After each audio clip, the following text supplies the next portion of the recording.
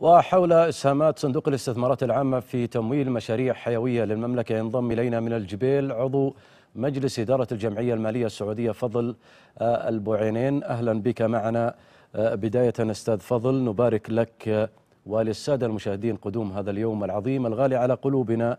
اليوم الوطني التسعين للمملكه العربية السعودية.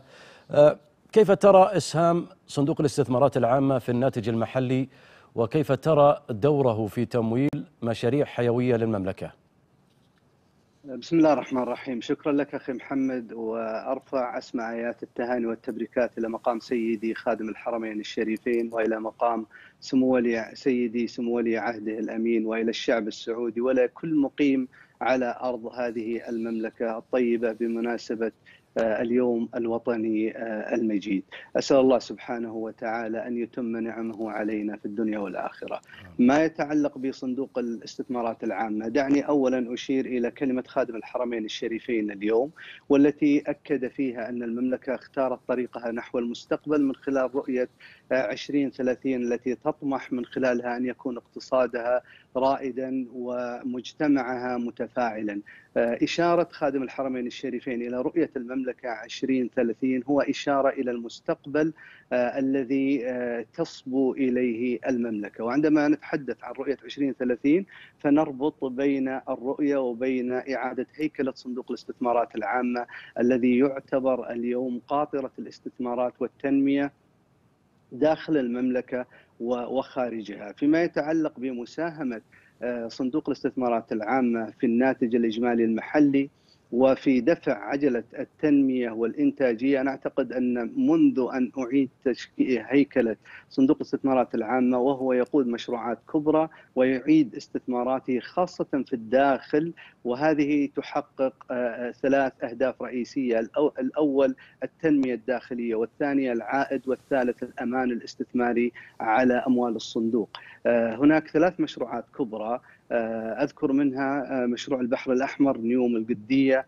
صندوق الاستثمارات العامة يقود الاستثمارات فيها وأعتقد أنه بنى جسر الآن مع المستثمرين الأجانب بحيث يكون هذا الجسر ممرا لتدفق الاستثمارات الأجنبية إلى الداخل. ولعلي أشير إلى أن برغم جائحة كورونا وما تعرضت له المالية العامة وتأثيرها على الاقتصاد العالمي والاقتصاد المحلي إلا أن مشاريع التنمية المرتبطة بصندوق الاستثمارات العامة ما زالت قائمة ووفق جدولها المحدد لها سلفا وهذا يؤكد الدور الكبير الذي يقوم به صندوق الاستثمارات العامة فيما يتعلق بالتنمية الداخلية وتعزيز النمو والمساهمة أيضا في المشروعات الكبرى التي تعزز آه، الناتج الإجمالي المحلي. نعم وشاهدنا ذلك من خلال الاستحواذ على نسب تصل إلى 30% في الشركات العالمية خلال آه، آه، فترة آه، الحجر وجائحة كورونا. حدثنا أيضا أستاذ فضل عن تصنيف المملكة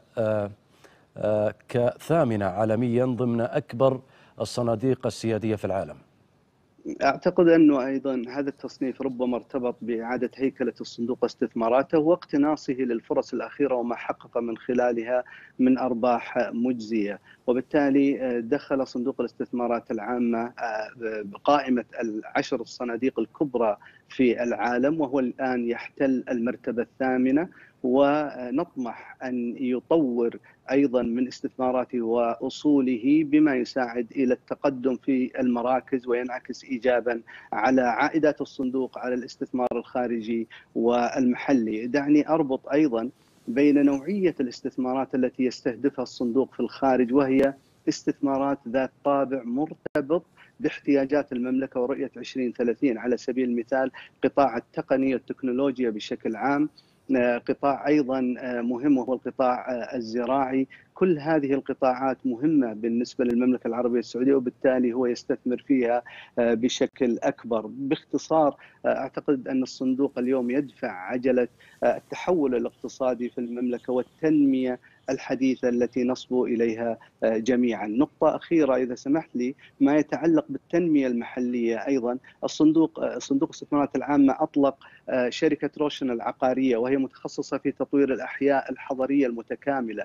وبالتالي اليوم سنشهد أحياء حضرية متكاملة وضواحي يقوم الصندوق بقيادة التنمية فيها. وهذا من أهم مكاسب الصندوق فيما يتعلق بالتنمية المحلية إضافة إلى العوائد الكبرى في القطاع في قطاع التنمية والتطوير. نعم إلى جانب امتلاك الصندوق محفظة استثمارية. السيد فضل متنوعه تتضمن العديد من الشركات السعودية وأيضا العالمية، كيف ترى دعمها في توفير إيرادات للصندوق؟ محورين أساسيين، الأول ما يتعلق بتحقيق عائدات ومجزية على الاستثمار، والمحور الثاني وهذا مهم جدا مرتبط أيضا بنوعية الاستثمار أو الشركات التي يدخل فيها الصندوق، على سبيل المثال عندما وضعت رؤية المملكة 2030 هدفا بتوطين الصناعات العسكرية بنسبة 50% محليا وبالتالي قاد الصندوق شراكات عالمية في قطاع الصناعات العسكرية، اذا هناك انتقائية في الاستثمار. عندما ركزت الرؤية على القطاع التكنولوجي والتقني أيضا استثمر الصندوق في هذه الشركات بل أنه استثمر في شركات مبادرة.